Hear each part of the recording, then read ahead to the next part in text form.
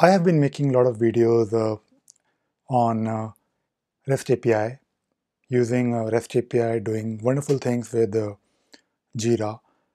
Now, I want to talk about one specific question that uh, people ask me over and over again, and that is about uh, the API token or the access code.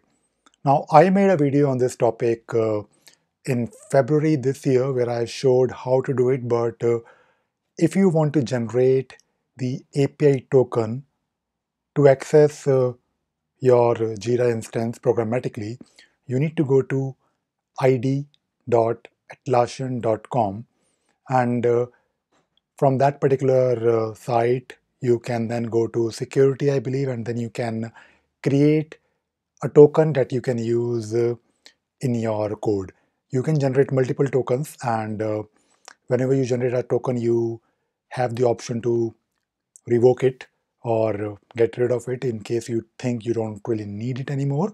So i want to make this video just to clarify that uh, it is not at all difficult. And in case you want to access uh, jira applications using rest api you need to go to id.atlassian.com to create that token. So this is all I wanted to share in this video. I hope you enjoyed watching this video and you learned something new today. Thank you very much.